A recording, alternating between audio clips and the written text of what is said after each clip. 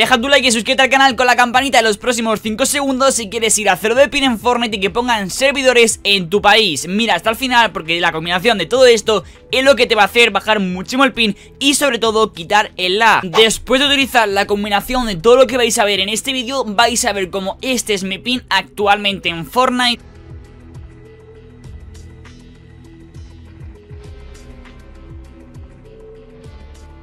Hoy vengo a traer al canal el resumen de todo lo que actualmente te va a servir para tanto bajar el pin como quitar el lag y también subir los FPS, que esto es muy importante. Estaré explicando la diferencia de cada cosa, lo vas a entender perfectamente y sobre todo va a ser para tanto Play 4, Xbox, Nintendo Switch, PC, juegues donde juegues. Como digo, es necesario que lo veas al completo porque la combinación de todo esto es lo que realmente te va a hacer que funcione. He puesto el ejemplo y vamos a ir luego también a Fortnite a modo creativo a enseñaros el ejemplo de cómo me va a mí el juego, aunque evidentemente a todo el mundo nos va a ir igual, pero sí vais a mejorar todos el pin y la sensación de lag, es decir, el delay, el input lag es algo que tú cuando tocas un botón tarda en ponerse una construcción, tarda en disparar, el juego va poco fluido, todo eso lo vamos a poder mejorar bastante en este vídeo. Vamos a empezar ya con todo ello, pero antes quiero recordaros el sorteo de un mando de Play 4 o de Xbox que tenemos en el canal. Es personalizado, queda ya poco para que termine. Lo único que tienes que hacer para participar es dejar un like, suscribirte con la campanita, comentar, participo aquí abajo e ir al enlace de la descripción. Hay cuatro requisitos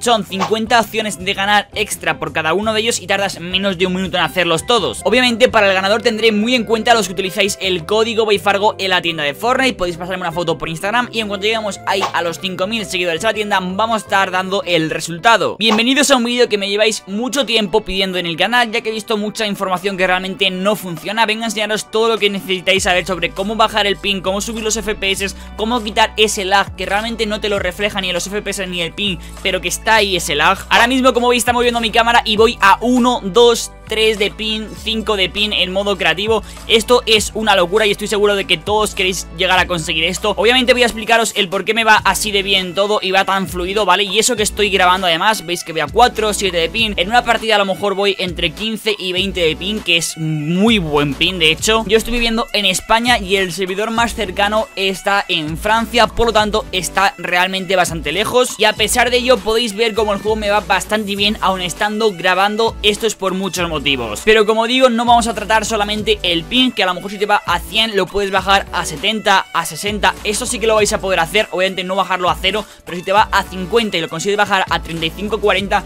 es un cambio enorme. Lo primero obviamente es que tenéis que tener en las opciones del juego la región de emparejamiento en automático, esta parte es importantísima porque a lo mejor estás jugando en un servidor que no es el tuyo realmente, no te das cuenta y a lo mejor vas a 200 de pin, a 100 de pin cuando podrías ir a 10, 20 o 30. Pero bueno, imagino que esto ya todos lo sabéis más que de sobra, esto es algo que no os pillará por sorpresa. Y ahora mismo estoy en PC comando y he puesto el juego a 240 FPS, obviamente no me va a esos FPS estable, pero bueno, para que os imaginéis que no voy a 60 FPS. Un mito que tengo que desmentir, que hay mucha gente que lo dice, es que depende de los FPS y la plataforma puedes ir a más o menos pin. Esto completamente falso. Como veis yo voy en torno a 10, 5 de pins y juego a 240 FPS Pero si reduzco esto a jugar como si fuese una consola Que sería lo que estamos haciendo ahora mismo ¿Veis como lo que es el pin tampoco varía demasiado? A lo mejor está en torno al 10, 20, 8 de pin, 5, baja otra vez para que veáis que realmente no influye en los FPS Pero obviamente lo que notamos cuando estamos en 60 FPS como estoy ahora es como delay, como lag extraño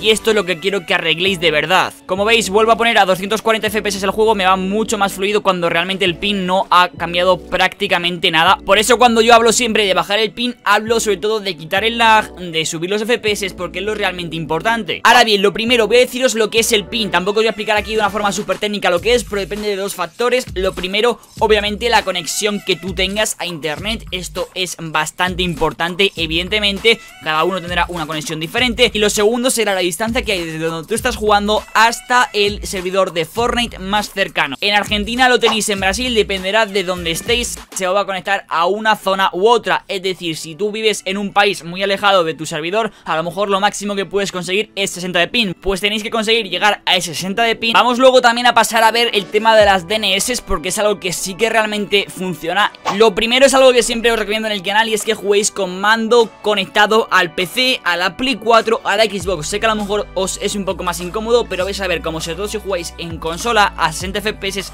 va a ir muchísimo mejor y te va a ayudar sobre todo a hacer dobles, triples edits y demás. Otra cosa importante es que como sabéis se puede jugar a Fortnite o a cualquier juego por dos opciones que es una por wifi y otra por cable Obviamente voy a deciros que la mejor es por cable. Sé que muchos tenéis que jugar por wifi porque no os queda otra Porque a lo mejor no podéis enchufar el cable o no estáis en la misma habitación. Yo en mi caso tengo el cable enchufado al ordenador Y esto es lo que hace que el pin sea siempre constante Nunca suba de 25 o 30 de pin Aunque esté en directo, aunque esté en el final de una partida.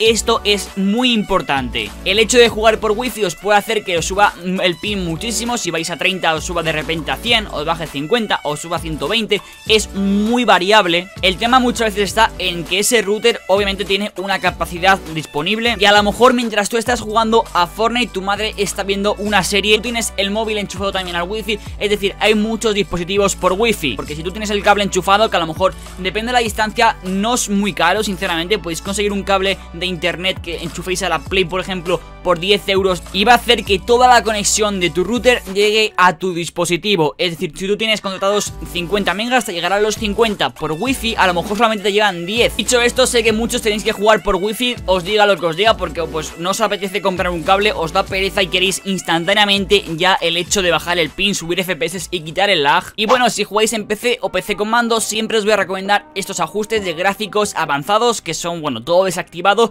y la versión de DirectX es imprescindible que sea la Direct 11. ¿Qué pasa? La Direct 12 la utilizáis muchos cuando realmente está en fase beta. Esto hace que dé mucho lag, que se os crasee mucho el juego, que se os quede pillado y que os vaya muy mal y os dé tirones de FPS y de pin. Por tanto, si jugáis en PC o PC comando, os recomiendo que copiéis estos gráficos avanzados y luego la calidad gráfica, si no tenéis un PC súper potente, yo en mi caso tengo un PC bastante normal, pero me da para hacer directos, para grabar vídeos y para que el juego me vaya bastante bien con esta configuración que es la resolución 3D al 100%, esto sí que es importante y luego todo lo demás al mínimo. Fortnite es un juego que no necesita que vaya bien visualmente, entonces simplemente he desactivado todas estas opciones y es lo que realmente me ha funcionado para que el juego vaya estable. Ahora vamos con las opciones dentro del juego para todos los jugadores de Fortnite, no solamente de PC. La opción principal, sobre todo para jugadores de Play 4, Xbox y Switch, es que desactivéis las repeticiones. Esto siempre lo digo, pero es que es muy importante porque mientras tú estás jugando,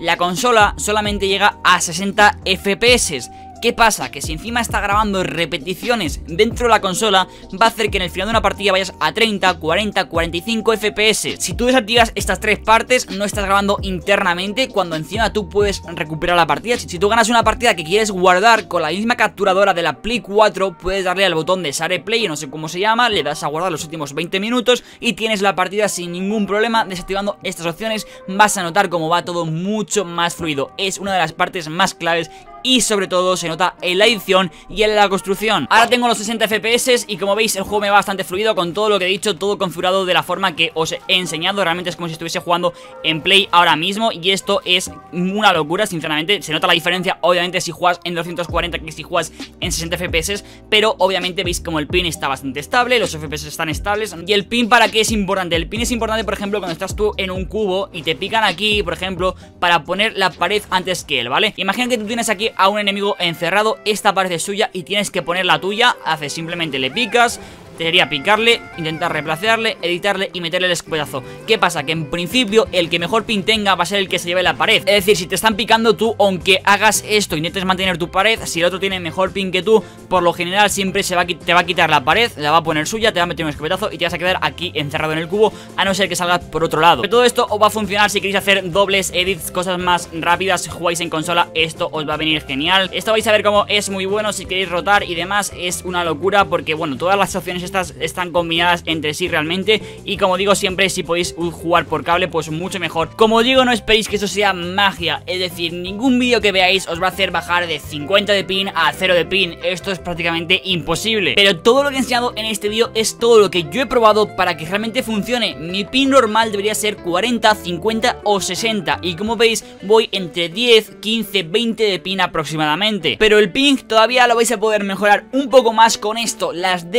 DNS, cada uno tendréis que poner una distinta, voy a enseñaros cómo funciona y cómo ponerlas en Play 4. Eso sobre todo os lo recomiendo a los jugadores de como digo Play 4 y Xbox, en PC no creo que sean tan necesarias las DNS porque ya la gran mayoría de que jugáis en PC soléis jugar por cable, esto es así, los que soléis jugar por wifi al final sois jugadores de consola y fijaros en las opciones porque si jugáis en Xbox o en Nintendo Switch podéis también hacer esto y al final es todo muy parecido a las opciones, si queréis que lo suba en otro vídeo decírmelo. Este vídeo tiene ya mucho tiempo, pero esto es exactamente lo mismo, solo que cada uno tendréis una DNS distinta. ¿Cómo sabemos qué DNS tenemos que utilizar? Bueno, vamos a la parte de ajustes, iremos a los ajustes de red, iremos a probar conexión de red y esto es lo que tenéis que ver, ¿vale? Conexión de carga y de descarga, las dos partes de abajo. Esto tenemos que intentar potenciarlo todo lo posible, entonces es simplemente probar DNS, hacer esta prueba de conexión a internet y en la que mejor tengamos todo es la que realmente nos tenemos que quedar, ¿vale? Le daremos a red y le damos a configurar conexión a internet, usar eh, cable LAN o